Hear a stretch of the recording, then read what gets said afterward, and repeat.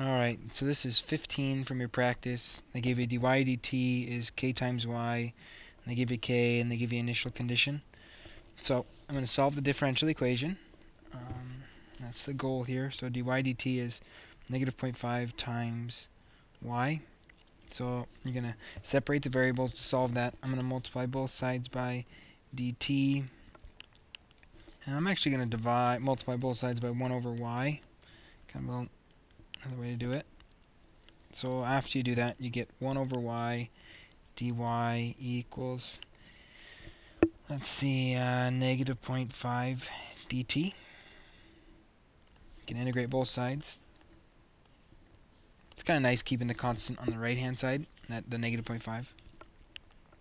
So natural log absolute value of y equals negative 0.5 t plus c you're going to go ahead exponentiate both sides.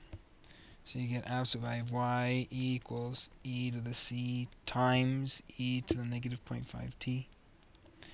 Um, strip off absolute value, put plus or minus.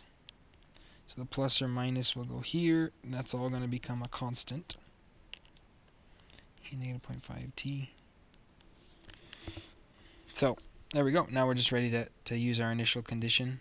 So it says when x is 0, y is 200. So if you use that initial condition on this guy here, you end up with c equals 200. So your solution to the differential equation is y equals 200 times e to the negative 0.5t. So there you go. That's like I said, that's the solution. And then uh, 17, kind of a different style problem. It's like 16. So I figure if I can do 17 for you, that'll help. So 17 it's a pretty cool problem. They say, hey, you still have dy dt equals ky. Now you're not given k, but you're given two conditions here. y sub 1 is 55, y sub 10, y of 10 is 30. So if you solve this differential equation, and after a while you're like, you know, it'd probably be nice to solve this general one. Turns out if you solve this general one, uh, you end up with y equals c times e to the kt.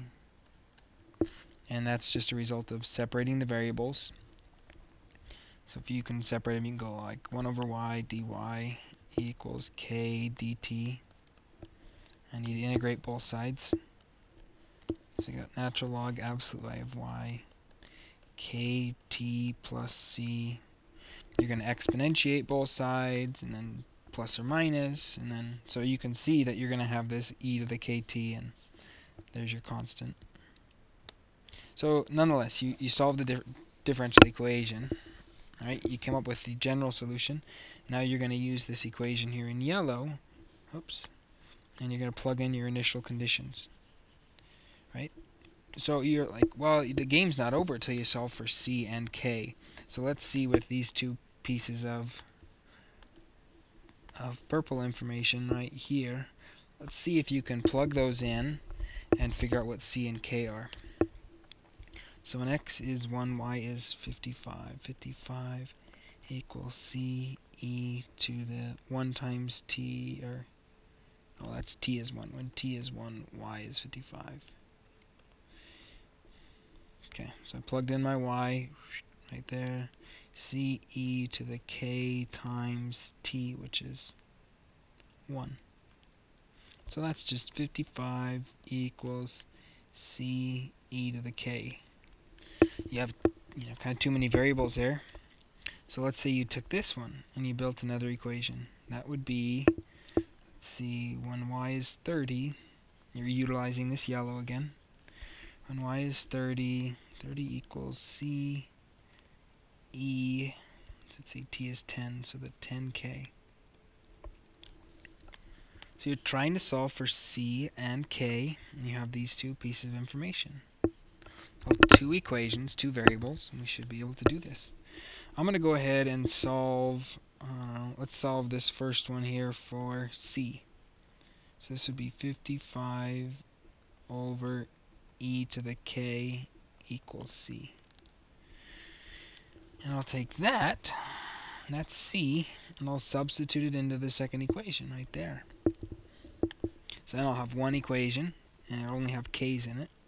So 30 equals 55 over e to the k times e to the 10k. Well, that's 30 equals e to the 10k over e to the k times 55. Your algebra skills are going to come in handy. Pay attention to this know, orange piece. You got e to the 10k on top and e to the k on bottom. You got to subtract the exponents. So like, you know, if you had x to the a over x to the b, that's x to the a minus b. It's the bases are the same. So the bases are both e. So 30 equals, well 10k minus k is 9k. So e to the 9k times 55. Gotta solve for k. So divide both sides by 55. So 30 over 55 equals e to the 9k.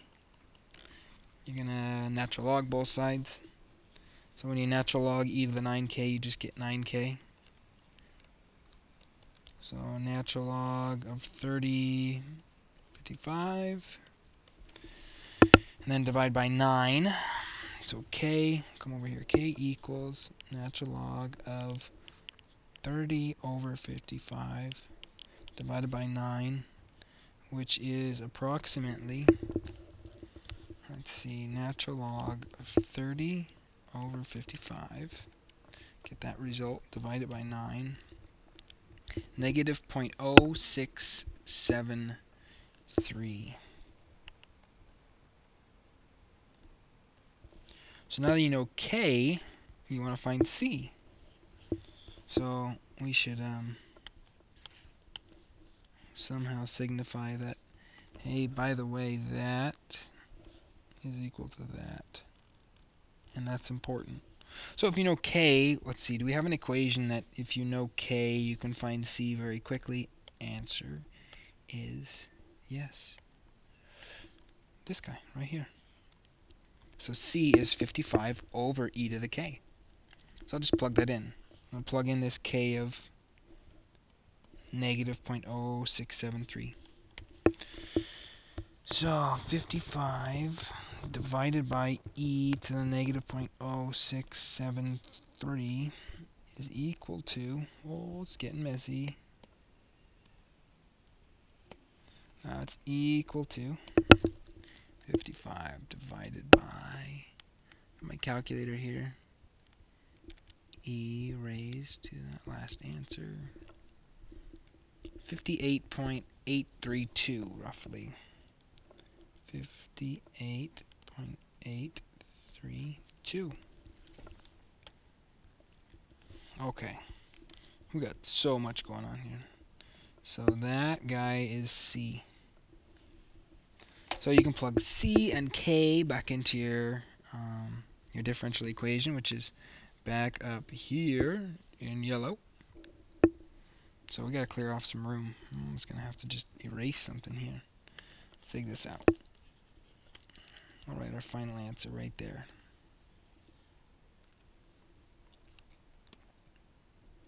So, y equals C. Okay, C was this guy right here. 58.832. 58.832 times E to the KT, and K is that one. So negative oh 0.0673 T. And that is it.